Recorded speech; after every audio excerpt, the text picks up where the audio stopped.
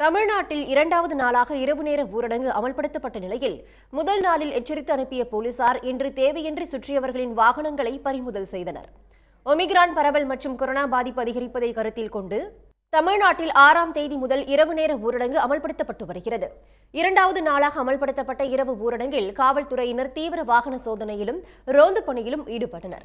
சென்னையில் சுமார் முன்னூறுக்கும் மேற்பட்ட இடங்களில் தடுப்புகளை அமைத்து வாகன தணிக்கையில் ஈடுபட்ட போலீசார் தேவையின்றி வெளியில் சுற்றித் திரிந்தவர்கள் மீது நடவடிக்கை மேற்கொண்டனர்.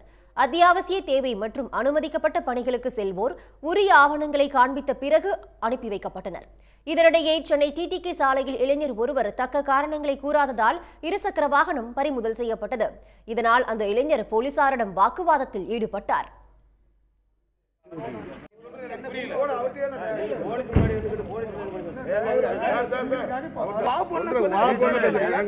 அவனும் டிகிரி படிச்சிருந்தான். இங்க பாருங்க. வண்டி வந்தது வண்டி வந்தது வண்டி நிப்பாட்டணும்.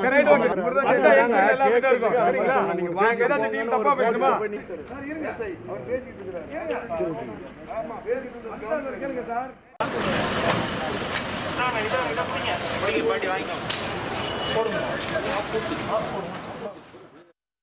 இதேபோல மாநிலம் முழுவதும் இரவு ஊரடங்கை அமல்படுத்துவதில் காவல்துறையினர் தீவிரம் காட்டினர். திருவண்ணாமலையில் மாவட்ட ஆட்சியர் முருகேஷ் மாவட்ட காவல் கண்காணிப்பாளர் பவன்குமார் ரெட்டி ஆகியோர் இரவு ஊரடங்கில் ஆய்வு மேற்கொண்டனர்.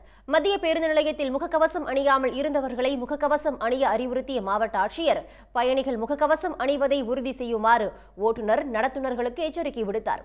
இதனிடையே தங்கள் கிராமத்திற்கு செல்ல பேருந்து இல்லாததால் ஒன்பது மாத கைக்குழந்தையுடன் தவித்த இரண்டு பெண்களை மாவட்ட ஆட்சியர் தன் சொந்த செலவில் ஆட்டோவில் அனுப்பி வைத்தார்.